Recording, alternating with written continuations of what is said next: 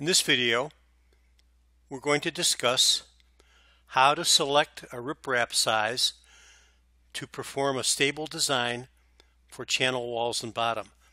The reference for these equations is from the textbook by Terry W. Sturm, Open Channel Hydraulics, 2nd edition.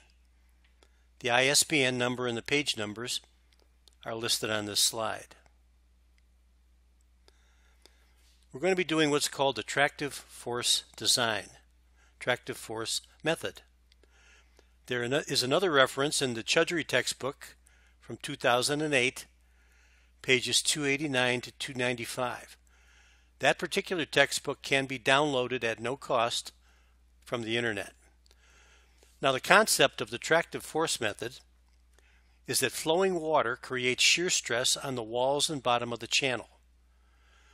When the shear stress exceeds a certain value, the channel material will slide.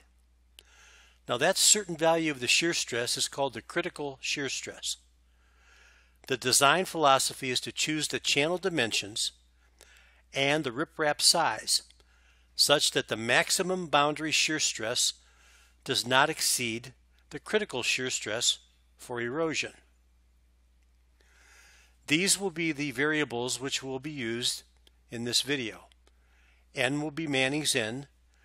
Tau 0C is the bottom critical shear stress. Tau 0C with a W superscript will be the wall critical shear stress.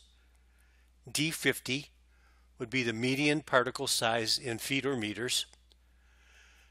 Tau 0 max would be the maximum shear stress on the bottom of the channel tau 0 with a W superscript max is the maximum shear stress on the wall of the channel.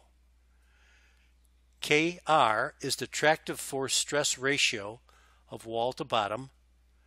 Theta is the side slope of the angle of the channel. And phi is the angle of repose of the riprap. Tau star C is what's called the critical dimensionless shear stress. Sg will be the specific gravity of the riprap, gamma, the specific weight of the water, R sub h is equal to the hydraulic radius, S sub f is the friction slope.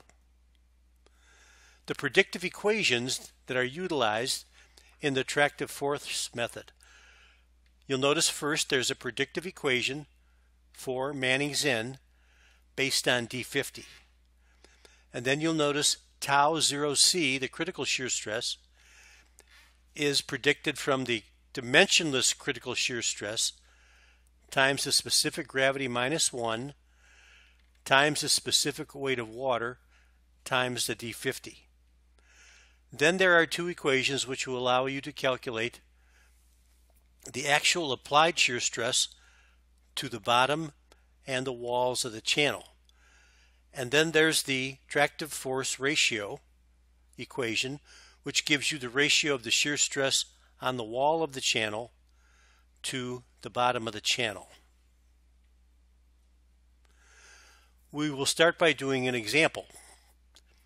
A trapezoidal channel with a bottom width of 12 feet, a bottom slope of 0.006, and 2.3 to 1 side slopes carries a flow rate of 500 cubic feet per second.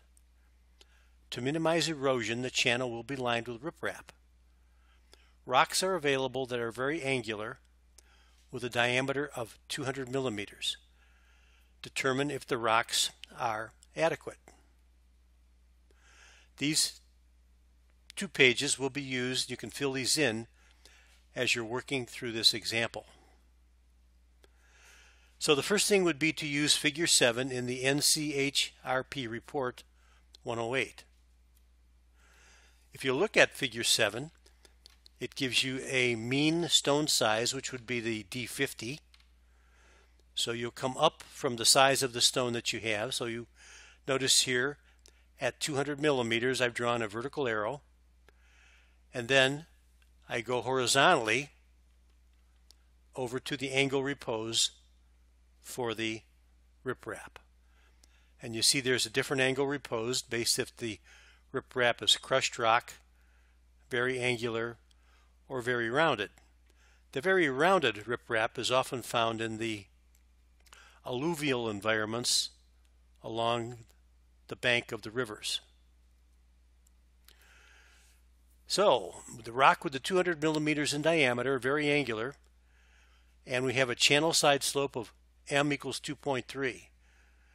You'll notice that phi from figure 7 came out to be 41.6 degrees. And if we want to see the angle of the side slope that we were planning to build the riprap, that would be the arctangent of 1 over the side slope, is 24 degrees. Notice that the angle that you plan to build the riprap must be less than the angle of repose. Step 2 is to determine the critical value of the shear stress. And that's obtained by taking tau star c, which is the dimensionless critical shear stress, multiplying by the specific gravity of the sediment minus 1, times the specific weight of the water, times d50. So in this case, the tau star C will be used as 0.045. Where that comes from will be discussed in the next video. And then you can see the remaining numbers have been placed in the equation and the critical shear stress then is 3.04 pounds per foot squared. Next is to determine the tractive force ratio using the tractive force ratio equation. So you can see the K sub r would be 1 minus sine squared of 24 degrees divided by the sine squared of 41.6 and that equals 0.8.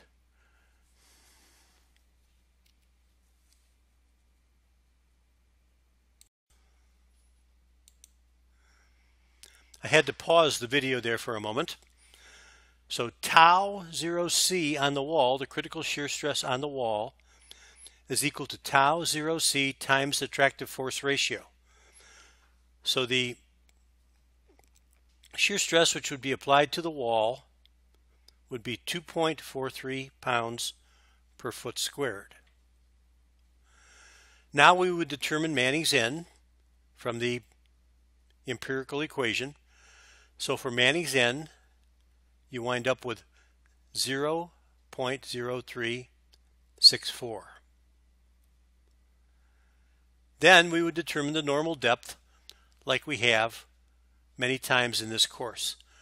So for a bottom width of 12 feet, side slope of 2.3, a bottom slope of 0.006, and 500 cubic feet per second, that gives us a normal depth of 3.95 feet, a critical depth of 3.08 feet, and a hydraulic radius of 2.62 feet. Now we would determine the maximum applied shear stress. So tau 0 max, which would be on the bottom of the channel, is 1.5 times gamma times the hydraulic radius times the friction slope which we are assuming normal depth in this case, so we will just use the bottom slope.